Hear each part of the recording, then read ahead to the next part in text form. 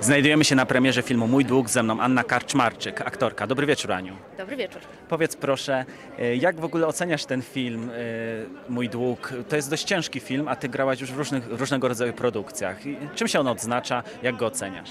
Ja myślę, że przede wszystkim e, będzie wyjątkowy, ponieważ jest to debiut Bartka, który gra e, e, główną postać, więc zawsze debiuty niosą ze sobą taki dodatkowy ładunek, e, wnoszą coś, jakąś taką wartość dodatnią do filmu.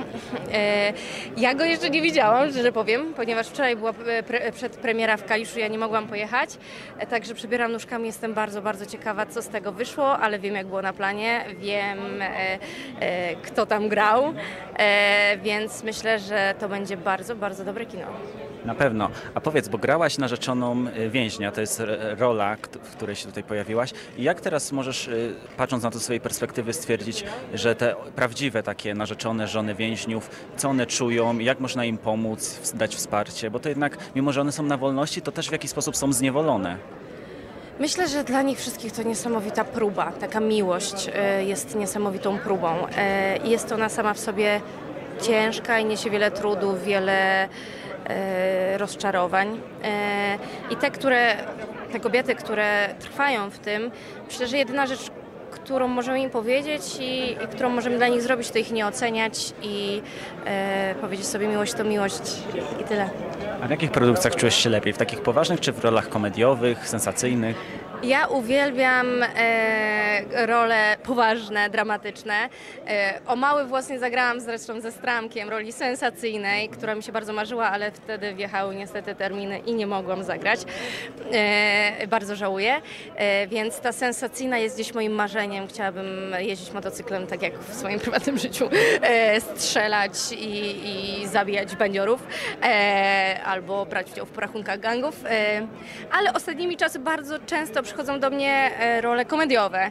Okazuje się, że chyba potrafię bawić ludzi, e, chyba już się tego nauczyłam, więc rzeczywiście tych roli komediowych robi się e, coraz więcej i nie przeczę, również czerpię z tego niesamowitą radość, więc uważam, że fajnie nie ograniczać się jednym nurtem, a robić różne rzeczy. No ja prywatnie mogę powiedzieć, że dajesz tyle energii, że bardzo, aż się wiesz, uśmiech pojawia na twarzy, że można z tobą rozmawiać i no właśnie. Bardzo mi miło, dziękuję. A powiedz w takim razie, co u ciebie słychać, jeżeli chodzi o nowe projekty, bo ty masz już tyle sukcesów na koncie, wgrałaś Tańc z Gwiazdami i w ogóle tyle się wydarzyło w twoim życiu. Co, ta, co w przyszłości? E, o Boże Święty, co w przyszłości? E, zaraz staję na planie nowego filmu.